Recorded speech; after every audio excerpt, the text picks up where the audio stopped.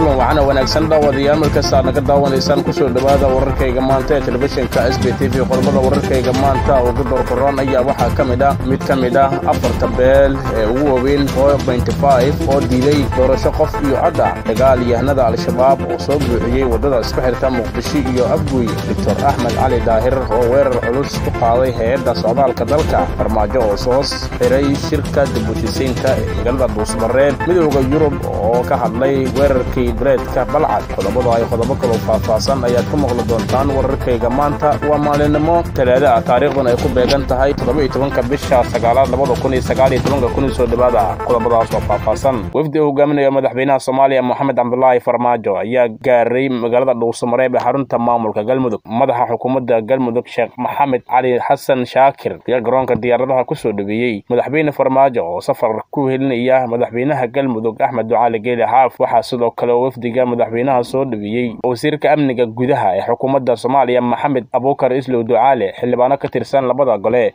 ee baarlamaanka soomaaliya iyo siyaasiyiin iyo dadweyne. Madaxweynaha soomaaliya maxamed cabdulaahi farmaajo oo soo xiray shirka dibushiisiinta galmudug ayaa ku dhawaaqay in loo gudbay wejigii labaad ee qorshaha dhammaystirka dhismaha maamul midaysan oo hana qaada kana turjuma hiigsiga iyo himilada bulshada deegaanada galmudug. Madaxweynaha ayaa bogaadiyey dadaalka midaysan ee heer federaal iyo heer dowlad goboleed ee horseeday qabashada iyo qabsoomidda shirweynaha isaga oo ku ammaanay bulshada bulshada waxgaradka iyo haldoorka deegaanka galmudug. Biseelka ay muujiyeen iyo in ay wadajir uga istaagaan kamaradhalinta fursadan taariikhiga ah.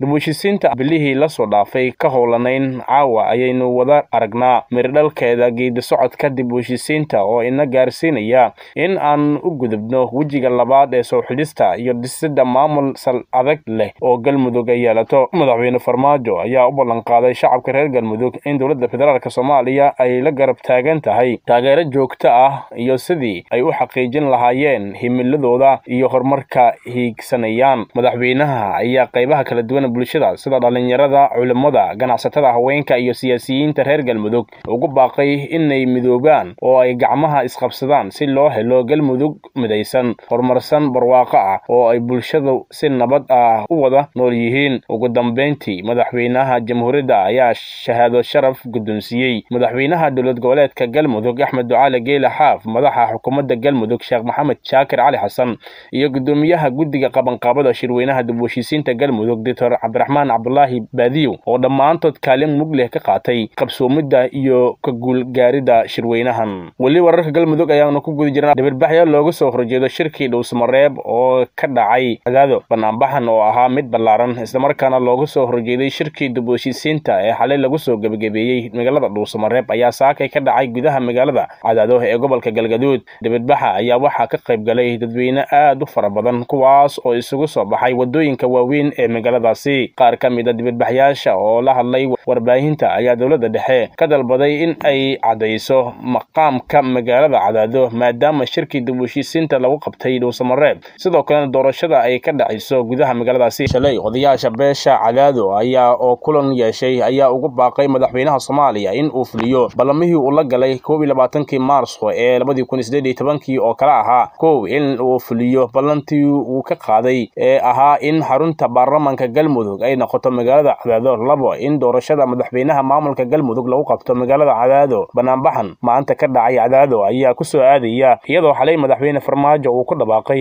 in loo gudbiyo wejiga labaad ee shirka maamulka galmudug. Warar laga kalsoonaan karo ayaa sheegaya in dagaalyahanno ka tirsan al-shabaab islamarkaana hubaysan ay saacadihii la soo dhaafay gudaha u galeen degmada balcad ee gobolka shabeellaha dhexe. Ila deegaanka ayaa inoo sheegay in raggan oo ay tiradoodu gaarayso shan iyo toban ay si dhuumalaysi ah ku soo galeen degmadaasi islamarkaana ay haatan jiro cabsi xoogan. Sidoo kale waxa ay tilmaameen in ciidamada dowladda bandu ku soo regeen balcad islamarkaana ay howlgallo ka bilaabeen magaaladaasi dhaqdhaqaaqa magaalada ayaa guud ahaanba hakad ku jira iyadoo laga cabsi qabo dagaal uu ka dhaco halkaasi. Dhinaca kale madaxweynaha hirshabeelle maxamed cabdi waare oo la hadlay warbaahinta ayaa walaac ka muujiyey amniga deegaanada maamulkaasi. Waare ayaa sheegay in al-shabaab ay ku soo jabeen gobolka shabeellaha dhexe kadib markii dowladda federaalka ay kordhisay howlgallada gobolka shabeellaha hoose. Ugu dambeyn maxamed cabdi waare ayaa ugu baaqay dowladda federaalka ah ee soomaaliya in ay wax ka qabato dhibaatooyinka amni ee hirshabeelle. Dhowaan ayay ahayd. Markii al-shabaab weeraro kala duwan oo looga dilay mas'uuliyiin caan ahaa iyo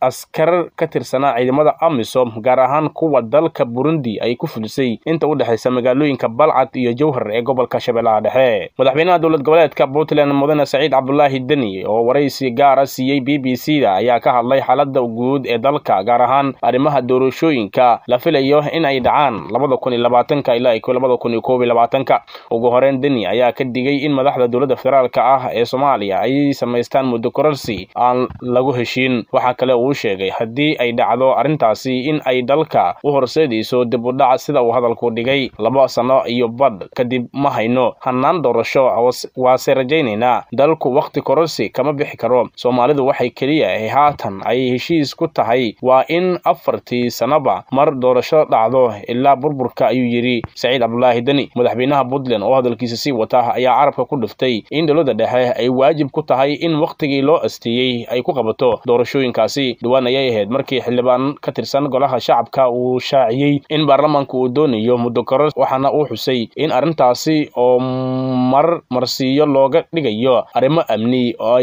ay ka shaqaynayso guddiga diyaarinta sharciga doorashooyinkaasi. Doorashada labada kun iyo labaatanka oo lagu heshiiyey inay noqoto qof iyo cod ayaa haatan waxa muuqan. Dadaalkii loo baahnaa si loo qabto doorashadaasi weli waxaad daawanaysaan wararkayga maanta ee telefishinka s b t v hogaamiyaha guud ee ururka daacish abubakar al bakhdadi oo soo duubay cod maqal ah ayaa ka hadlay howlgalladii ugu dambeeyey ee ay kooxdu ka fulisay wadamo dhowr ah oo ku jirta soomaaliya. Al bakhdadi ayaa inta badan khudbadiisa diiradda ku saarayey dagaalka ay kula jiraan dalalka reer galbeedka gaar ahaan maraykanka hogaamiyaha ayaa sheegay in maraykanka lagu jebiyey dalalka soomaaliya afghanistan bakistan iraaq bartamaha afrika bariga aasiya iyo waqooyiga yeman waxaa kale uu sheegay in kooxdiisa ay sii xoogsanayso islamarkaana ay guulo ka soo hoyday. Dagaaladii ugu dambeeyey sida uu hadalku dhigay dhowaan warbixin ka soo baxday kongareeska maraykanka ayaa lagu sheegay in awoodda daacish ay ku sii xoogaysanayso dalalka syriya iyo iraaq kooxda daacish farceeda soomaaliya ayaa ku xoogan dhulka buuraleyda puntland gaar ahaan gobolka bari ee maamulkaasi. Danjiraha ururka midooda yurub u qaabilsan soomaaliya nicholas barland ayaa si kulul uga hadlay weerarkii sabtidii ka dhacay duleedka degmada balcad ee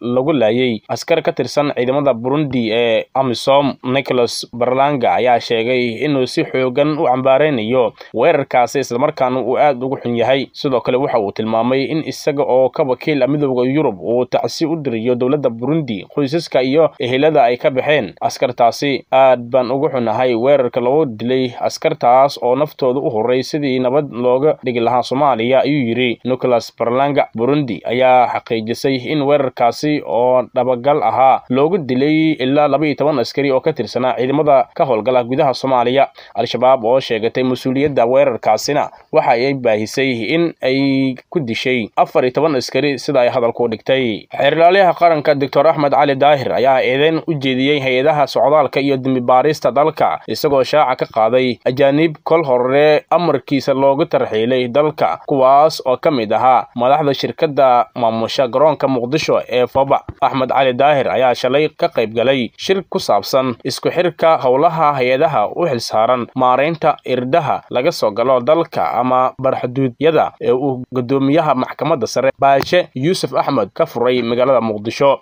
xeerlaaliyaha ayaa sheegay in wax isdaba marsiis badan uu ku dhex jiro hay'adaha ku shaqada leh xaaladaha dalka si gaar ah garoonka muqdisho bixinta baasaboorka iyo dembi baarista. Waxa uu sheegay in maalin kasta ay soo gaaraan kiisas waaweyn oo ay baabi'iyaan laamaha kala duwan ee hay'adaha socdaalka iyo dembi baarista dalka sida uu aaminsan yahay bil kasta la baabi'iyo ugu yaraan kun dembi taasina ay hoos u dhigi karto kalsoonida lagu qabo xuduudaha laga soo galo dalka. Inta uu hadlayey ayuu soo hadal qaaday laba nin oo u kala dhashay dalalka turkiga iyo uganda oo iyagoo ka tiinadaysan uu sheegay in lagu tarxiilay garoonka aadan cadde kuwaas oo ka mid ahaa mas'uuliyiinta ugu sarraysa shirkadda faiber ee maamusha garoonka muqdisho. Waxa uu sheegay in agaasimihii xilligaasi ee hay'adda socdaalka oo ahaa cabdilaahi gaafu uu ugu soo dacwooday labadaas nin oo jebiyey sharciyada lagu joogo dalka. Xeraalyaha ayaa sheegay in nin iyagoo ka tiinadaysan uu ka dhoofiyey garoonka muqdisho wuxuuna faray hay'adda socdaalka in sidaas sidaas oo kale bilaa maxkamad ay u tarxiili karto. Ajaaniibta ka xadgudubta sharciga dalka. Hadalka xeerlaaliyaha axmed cali daahir ayaa ku soo aadaya iyadoo muddo toddobaad ah